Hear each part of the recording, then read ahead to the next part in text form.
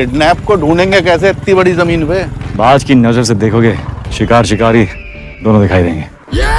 Welcome friends, आप सभी का स्वागत है हॉट शॉट में एक बार फिर से। दोस्तों, आज के इस वीडियो में हम बात करेंगे विक्रम बेदा फ़िल्म की, सबसे बड़े रिकॉर्ड के बारे में। सो दोस्तों, आप लोग इस वीडियो को लास्ट तक ज़रूर देखना और अगर आप लोग ऋतिक रोशन सर के डाई हार्ट फ़ैन है तो इस वीडियो को लाइक और चैनल को सब्सक्राइब कर दीजिए, क्योंकि इस चैनल पर ऋतिक रोशन सर की आने वाली सभी फ़िल्मों की लेटेस्ट अपडेट मिलती है। दोस्तों, जैसा की आप सभी लोग जानते हैं, विक्रम बेदा फ़िल्म को वर्ल्ड वाइड बॉक्स ऑफ़िस पर काफ़ी अच्छा रिस्पॉन्स मिला था।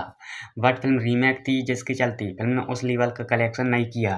हालाँकि दोस्तों, आज के इस वीडियो में हम बात करेंगे बॉलीवुड की उन टॉप मूवीज़ के बारे में, जिन मूवीज़ ने 2022 में मिडिल ईस्ट में सबसे ज़्यादा कलेक्शन किया है। अब आप में से कई सारे लोग मिडिल ईस्ट के बारे में भी नहीं जानते होंगे तो उनके लिए बता दें, ईरान, इराक, तुर्की सऊदी अरबिया ओमन और येमन ये सभी देश मिडिल ईस्ट में आती हैं। और इस वीडियो में हम बात करेंगे बॉलीवुड की टॉप मूवीज़ के बारे में, जिन्होंने इन सभी देश में सबसे अच्छा कलेक्शन किया है। तो दोस्तों, इस लिस्ट लिस्ट में नंबर आठ पर आती है। एक विलर रिटर्न जिसने मिडिल ईस्ट में ग्रोस कलेक्शन किया था, नौ करोड़ दस लाख।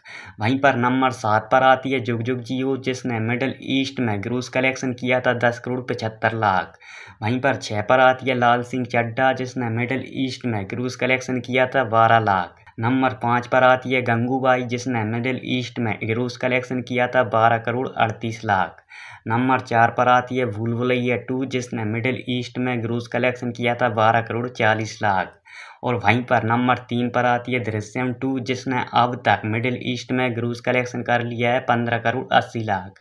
इस फ़िल्म का सोलह करोड़ तक कलेक्शन जा सकता है। वहीं पर नंबर दो पर आती है ब्रह्मास्त्र, जिसने मिडिल ईस्ट में ग्रोस कलेक्शन किया है, सोलह करोड़ चौवन लाख। अब आप लोग ये तो समझ ही चुके होंगे कि एक पर कौन सी फ़िल्म का नाम आएगा। तो फिर भी मैं आप लोगों को ये बता देता हूँ, इस फ़िल्म ने मिडिल ईस्ट से कितना कलेक्शन किया है।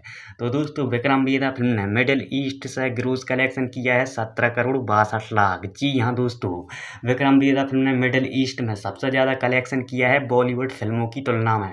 मतलब कि दो हज़ार बाईस में जितनी भी बॉलीवुड फ़िल्में रिलीज़ हुई हैं तो उन फ़िल्म में मिडिल ईस्ट में सबसे अच्छा कलेक्शन विक्रम वेदा ने ही किया है।